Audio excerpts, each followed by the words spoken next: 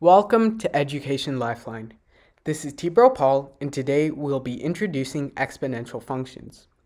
You've already studied linear and quadratic functions, but there's another type of function called an exponential function. Remember that an exponent is shorthand for expressed repeated multiplication.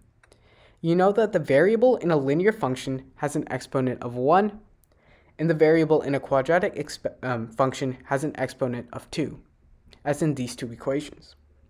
However, when the variable by itself is the exponent, we see an exponential function.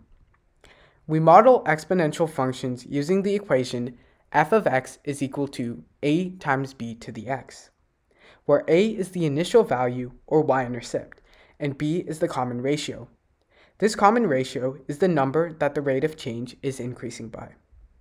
The graphs of exponential functions demonstrate an asymptote, which is the line that they, they will always approach but never actually reach. This will be discussed in another video.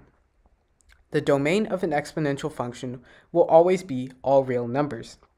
The range, however, will be based on the asymptote. If this video was helpful, please drop a like and subscribe to Education Lifeline. Be sure to watch our next video on evaluating exponential functions and check the description for other helpful resources. We include more tips as well as practice problems in the description of every video. Please make sure to leave any questions in the comments down below. Thanks for watching.